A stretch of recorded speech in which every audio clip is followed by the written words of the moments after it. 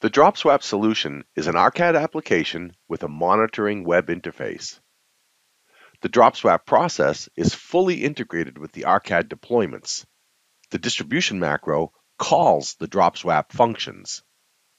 If so configured, the standard ARCAD distribution macro will start and end with the Drops WAP replication and synchronization process. The progress of the replication and synchronization can be monitored here on the Drops WAP Web Studio.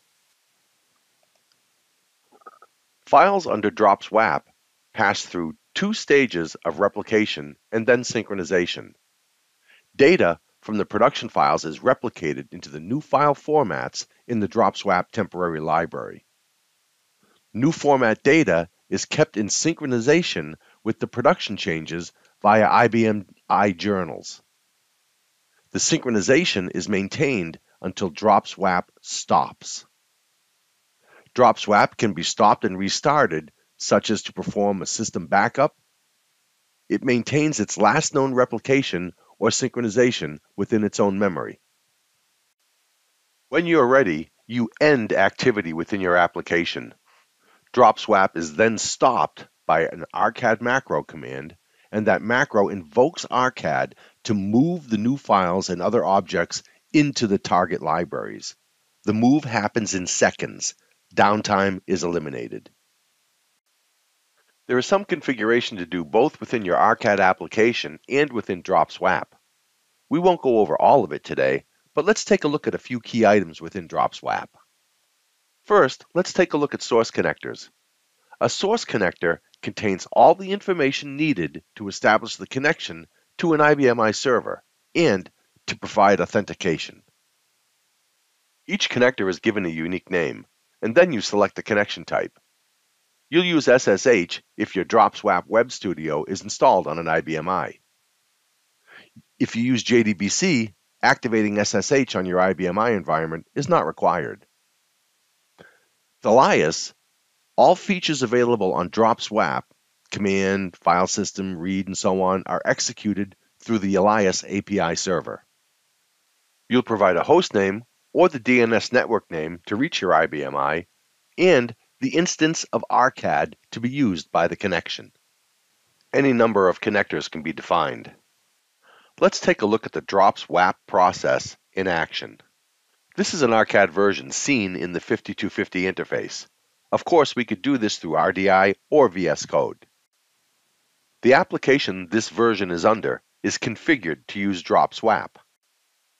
You can see a number of physical files in this version, and some of them are quite large, and we'll use WAP for them. In today's example, we'll start the distribution process from the command line.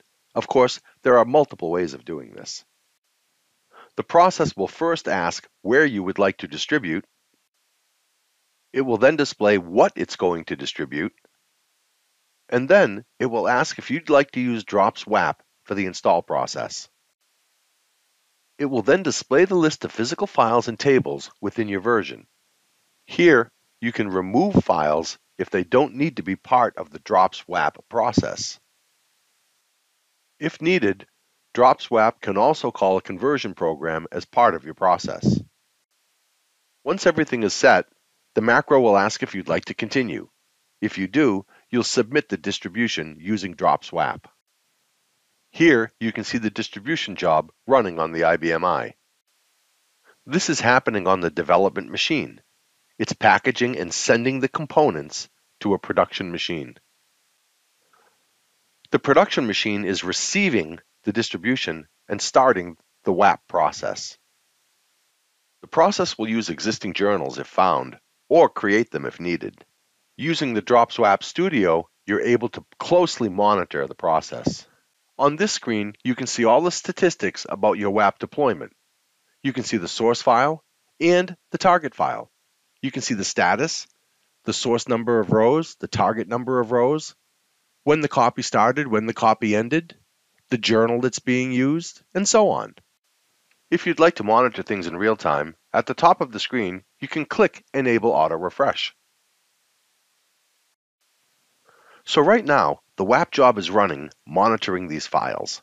It's copied all the data into the temporary library and it's watching for activity on the production files. Let's simulate that. In the real world, people would still be using your application. In our demonstration today, what we'll do is we'll run a few SQL statements against these files to cause some updates. Note the column saying time the last journal entry was read. Let's run the update and then see what happens to that column. You can see that the journal was read and that the updates that were done on the production files have now been done on the temporary files. They're up to date. This process will continue in the background until you tell Drops WAP that you're ready to move the files. To do that, we'll release the job receive WAP end. That was submitted on hold as part of the process earlier. It's normally done under the user arcadnet. You'll see that the job is in message wait state. It's waiting for you to confirm that things are ready. It's asking you to confirm that all users are done using these files.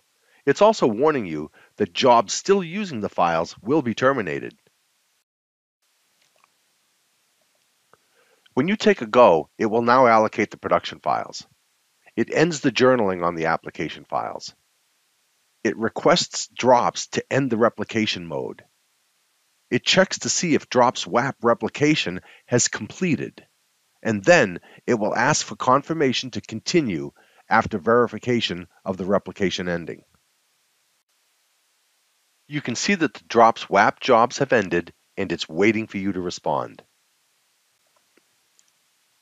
If you reply yes to this message, Drops WAP will now move the files from the WAP temporary library to the target library. It uses the command a transfer object, which is the actual ARCAD transfer command. Everything is being done under change management. It will then restart the journaling on the moved files. You can see here that the command is doing a move of these files into production. It's very fast. When the receive WAP end job finishes, your files are in production, converted, and ready for use.